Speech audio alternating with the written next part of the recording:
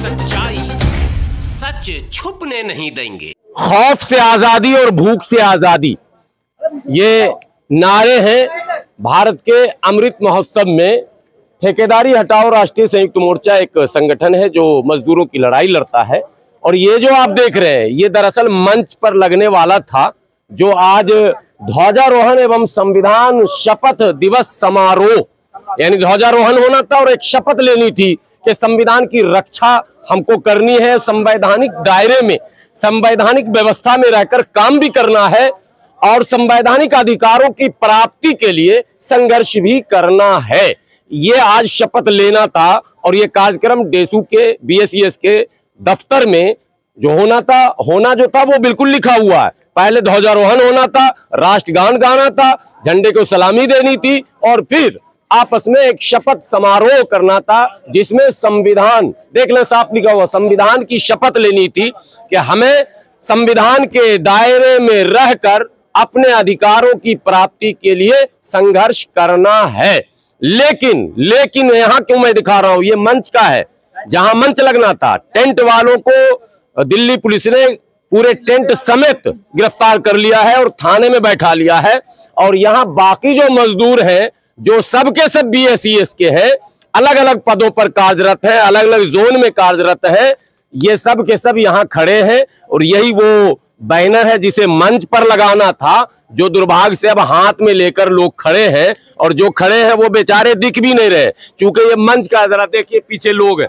मंच पर ये लगना था, जो नहीं लग पाया, दिल्ली पुलिस ने कार्यक्रम करने की अनुमति नहीं दी। बैरियर लगा दिया गया है। चारों तरफ़ से बाउंसर लगा दिए गए हैं और कर्मचारियों को ये कहा गया है कि यहाँ पर 144 है। आप जमा भी नहीं हो सकते हैं। हालाँकि ऐसी कोई बात होनी नहीं चाहिए।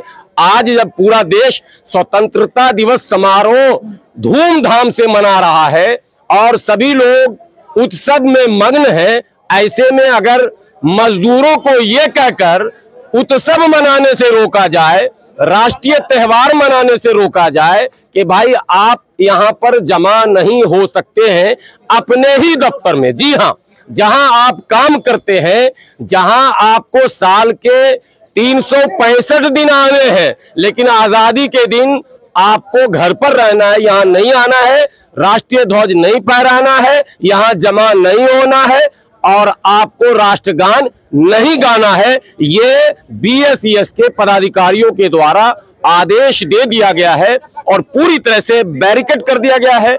प्राइवेट सिक्योरिटी भी खड़े किए गए हैं, बाउंसर खड़े किए गए हैं और साथ में दिल्ली पुलिस के जवान भी खड़े किए गए हैं। अब ये तमाम लोग यहाँ पर खड़े हैं कि भाई हमें राष्ट्रीय ध्वज फहराने दिया जाए, हमें राष्ट्रगान गाने दिया जाए, हमें संविधान की शपथ लेने दिया जाए और हमें अपने अधिकारों को जानने का अधिकार भी दिया जाए। लेकिन दुर्भाग्य से आज जब हम स्वतंत्रता के अमृत महोत्सव को मना रहे हैं, तब देश की राजधानी दिल्ली की ये स्थिति मैं आपको दिखा रहा हूँ। एक बार कैमरामैन फिर घुमाएँगे चारों तरफ़। ये सारे जो मजदूर है बीएससीएस के, ये राष्ट्रीय ध्वज अपने हाथों में लेकर, अपने गले में पट्टा पहनकर और बैच लगाकर ये राष्ट्रभक्ति, आप देखेंगे साथ में बच्चे भी एक जरा सा उस पर कैमरा फोकस करेंगे।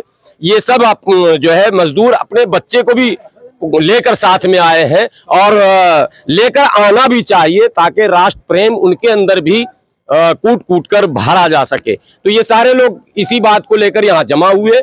इन्हें कहा जा रहा कि आप बैरंग वापस जाइए। आपको ये कार्यक्रम नहीं करने दिया जाएगा। आपको राष्ट्रीय ध्वज फहराने नहीं दिया जाएगा।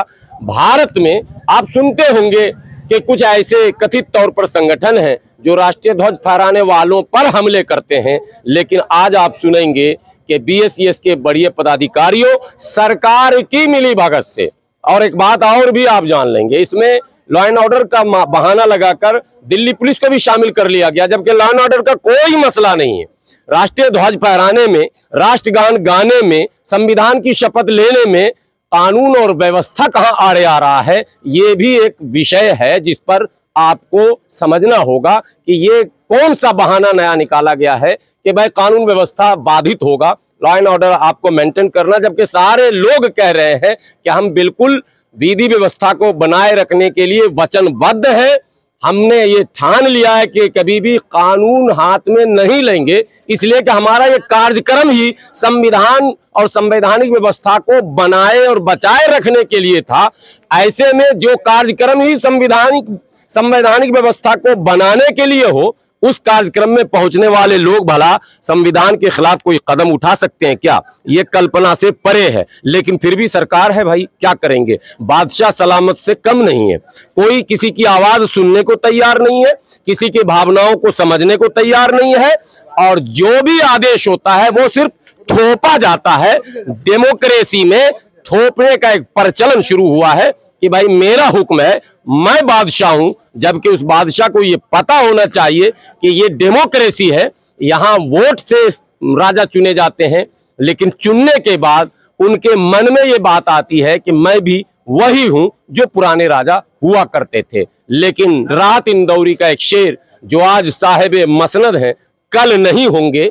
जो आज साहेब मसनद है, कल नहीं होंगे। किराएदार है, जाति मकान थोड़ी है। बने रहे देश की सच्चाई के साथ पल पल के अपडेट के साथ मैं फिर हाजिर हूँ शुक्रिया।